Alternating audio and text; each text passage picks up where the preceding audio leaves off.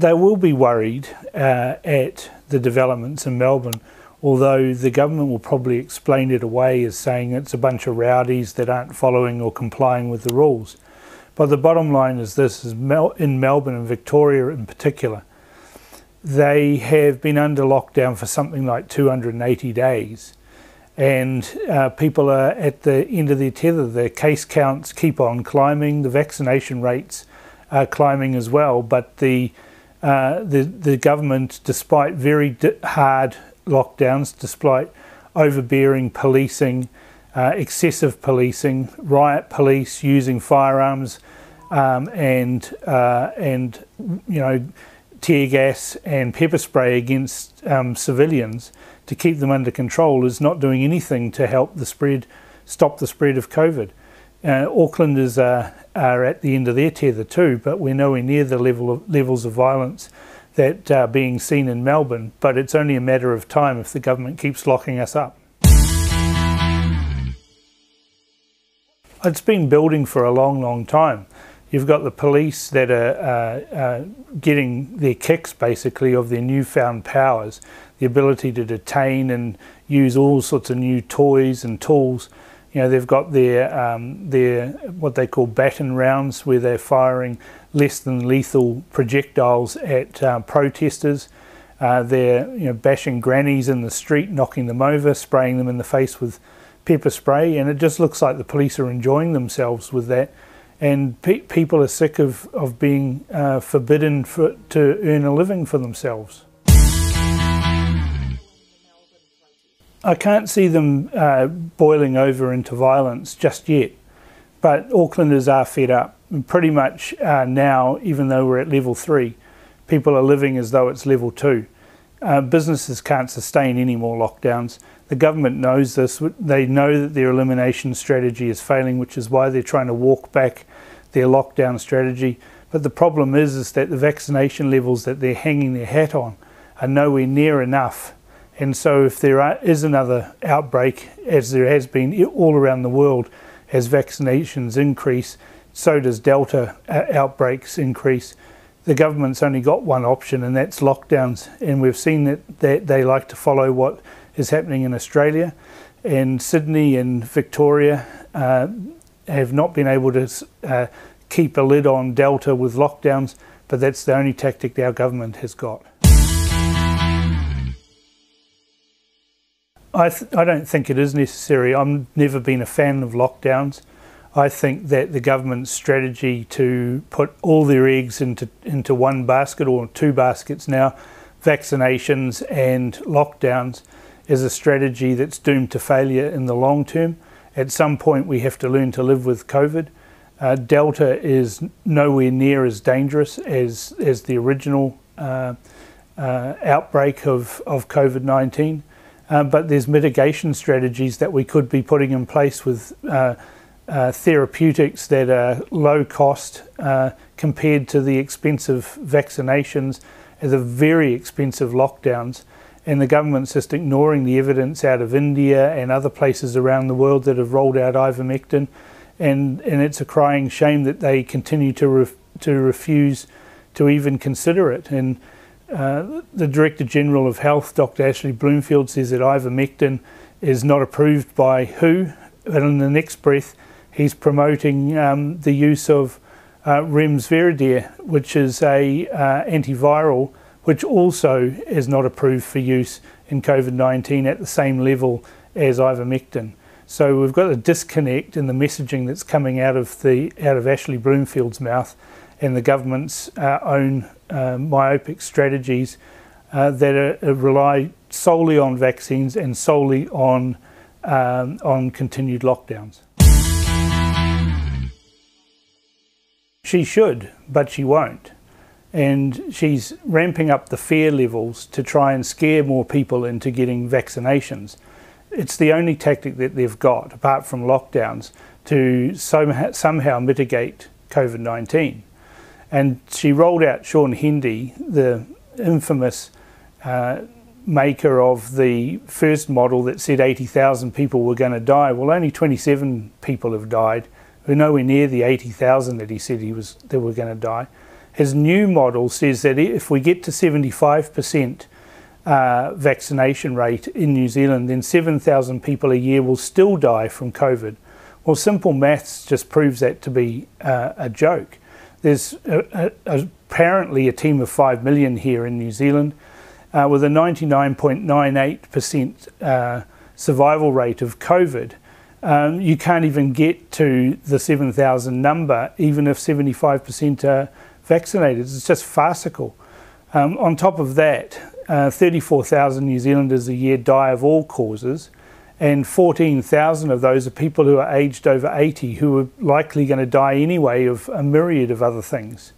So it's, it's rolling out the fear tactics, rolling out the scare to try and get people to roll up their arm to um, inject themselves with a, a trial so called vaccine, which around the world has been shown to be less than successful at doing anything other than enriching Pfizer.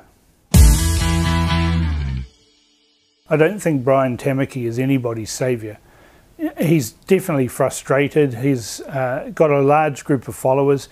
He'll probably be able to pull about 10,000 people. Uh, it will probably be less than that. But the problem that we've got is there's a lot of people that are looking for a bit of trouble who are going to pile into the back of this. And I don't think Brian Tamaki will be able to control various gang members or anyone else who's looking for a confrontation with police. It'll be interesting to see how police uh, deal with uh, a mass protest, e even as we're still under level three lockdown. I don't believe so. I think he's too one dimensional, he's too polarising, and he's had a couple of goes at trying to mobilise as a political party or do anything like that, and all of those attempts have, have come to naught. Um, I think he's poorly advised, and the people that he surrounds himself with um, think that they can rise up and get a large group of people to back it. I just don't think that's possible in the current political environment. No, they'll take not one blind bit of notice um, of him initially. If he does get a huge number of people that come out and come out not just in Auckland but in other places around the country, then he may get some traction. You know, if he focused on uh, things like why is uh, the South Island in level two when there's never been a case of COVID in the South Island for almost a year, then he might have um, some valid reasons there. I'm sure Aucklanders are, uh, you know, buckling under the pressure of of the lockdowns, but there's still a large group of the of society that are largely compliant and uh, see Jacinda as you know the saviour of us all. Uh, I don't think anybody takes Brian Tamaki seriously. Uh, I guess there would be we would have to see what his message is, what his demeanour is, what his tone is. But if it turns to violence uh, during his protest, then no one will take him seriously and he'll be blamed for all of the things that have gone wrong in the protest if that's what happens. He should be very, very careful about heading down this path, especially dragging in, you know, a whole lot of also rans uh, to to bol bolster the numbers. I think there are grave risks in organising a protest like this. But that said, uh, protests are valid. It'll be interesting to see how the government reacts to a protest like this compared to the protests like for Black Lives Matter. So, and it'll be interesting to see how the police also deal with it uh, compared to Black Lives Matter protests.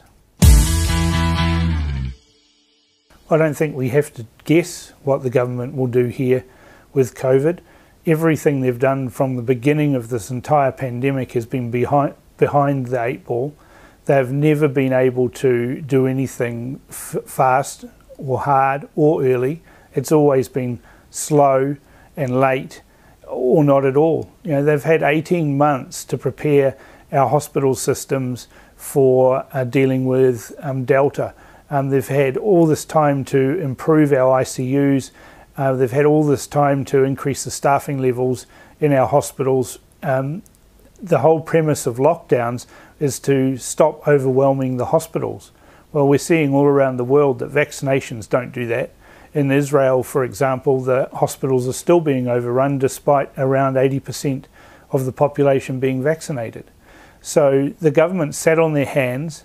They've spent billions upon billions of dollars of borrowed money on pet projects, and none of those have increased the capacity of our hospitals, our ICUs, or our staffing in those hospitals.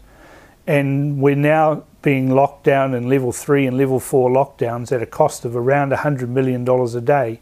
Well, it doesn't take too many days to get to the amount of money that the economy has lost that could have in fact been spent building a new hospital to handle ICU only in Auckland as the major, major uh, source of, of COVID infections because of its proximity to Auckland Airport and the MIQ facilities. So I think the government has uh, sat on their hands.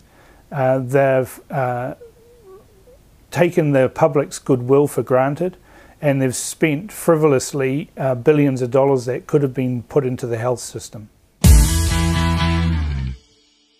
God knows what will signal the beginning of the end of this government, but I don't think Aucklanders will take too many more lockdowns, and that's when they're really going to start getting pushback.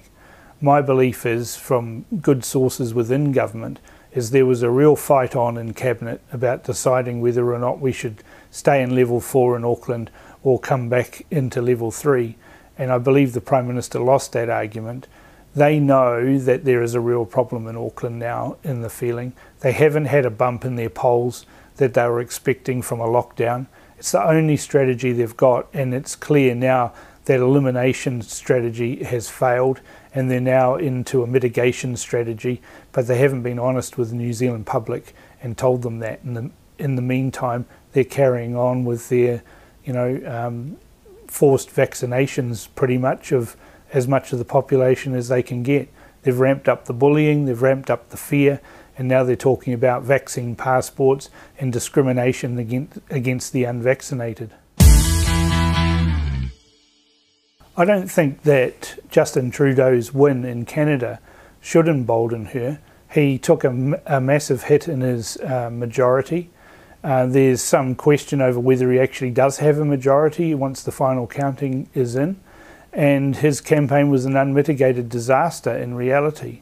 Uh, he won't survive another election.